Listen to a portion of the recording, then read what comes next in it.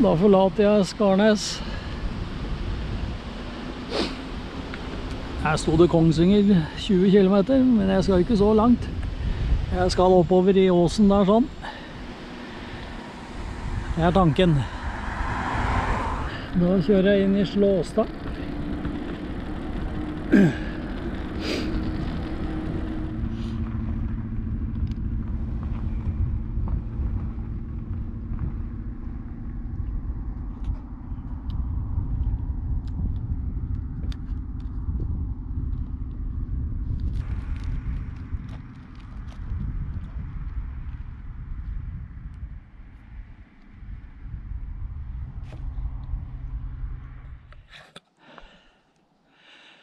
Ja. Isdalsveien. Uh. Men er det den jeg skal på?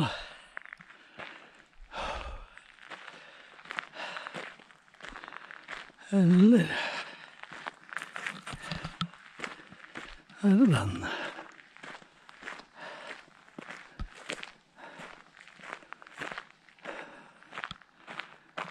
Det er ikke godt å si.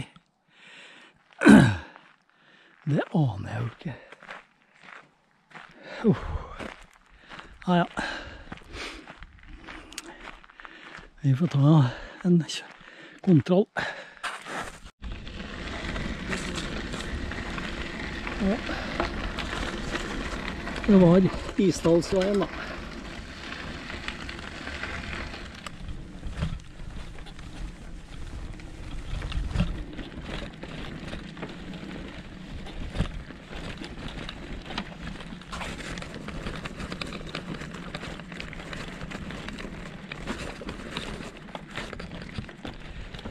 Ja, her tenker jeg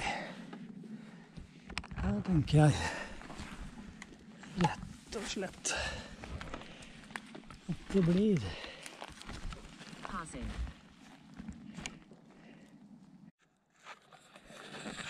Ja.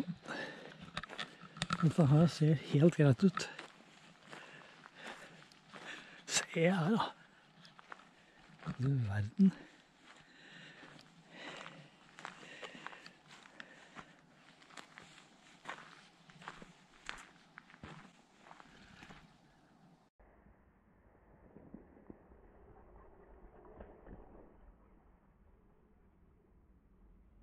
Oi. De, eh, de satt nære, gitt.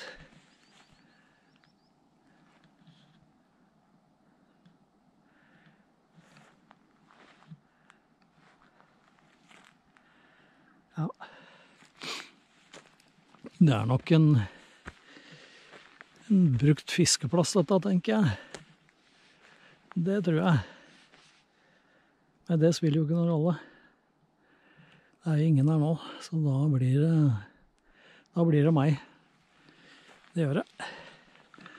Da skal jeg rydde unna noen kongler, og så skal teltet opp.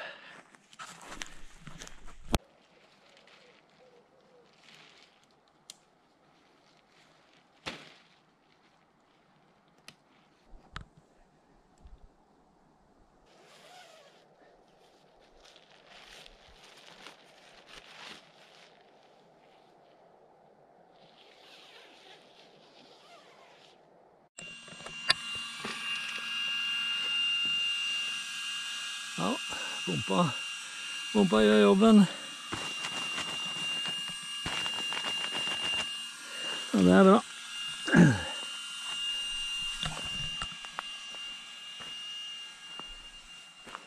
Og da kan jeg forberede litt. Litt mat og litt kaffe.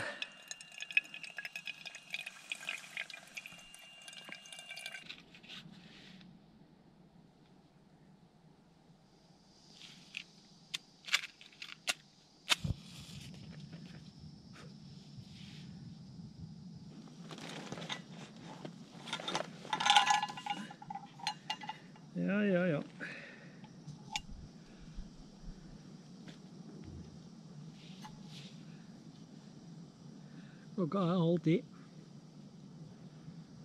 Det er jo fint vær, men det er jo muligheter for at det kan bli ei regnskur eller to i natt også, da. Ser ikke helt bort ifra det. Det Det har det vært de siste nettene, så jeg regner med at det blir det nå også. Det ser litt grått ut borti der.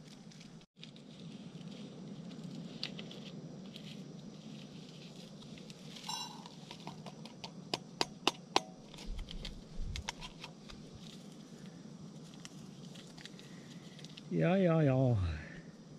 Da blir det en kaffedropp da. Og så blir det rett i koppen. Eple og kanel. Den er kjempegod. Den har gått ut av dato, da. Men, men.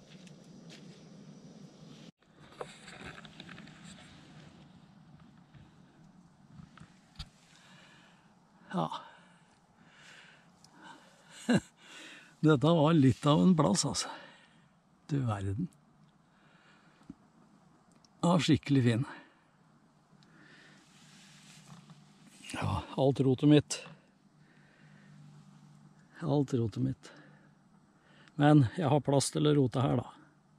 Det er god plass. Og det gjør ingenting. Og så veit jeg hvor jeg har det. Her for eksempel. Fempakk Anton Berg. Det er jo heller ikke feil. Passer til kaffen, det. Eller kanskje en sukkerbit i dag, da.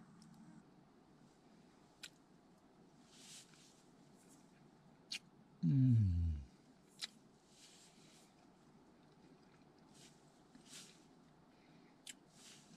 Nå var det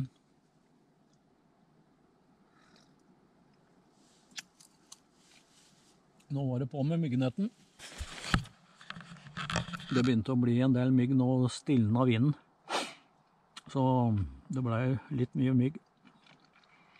Så det er godt å få på myggnettingen. Ja, jeg ser det er noen her inne òg, da, men øh, jeg skal få tatt dem. Så kaffedoppa her. Rett i koppen, eplekanel. Og så er det bua lulla etterpå, altså.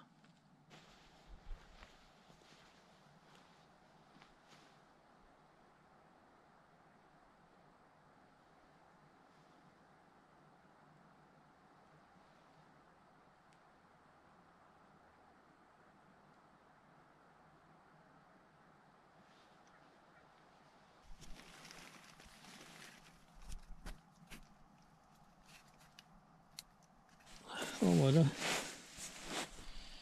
Da var det kvelden. Og det ble 9,9 mil. Drøye 9,9 mil. Så det er jeg fornøyd med. Og det var jo altså et lite stykke da selvfølgelig som var eh, med asfalt fra Skarnes og til eh, Slåstad. Men resten av turen har vært eh, i, inne i skauen med grusveier. Så det har vært en veldig fin tur. Og nå fant jeg en super plass å slå opp teltet også, så nå er jeg skikkelig fornøyd. Så da blir det mer i morgen. Nå er det klokka nærmer seg halv tolv. Nå skal jeg sove. Ja.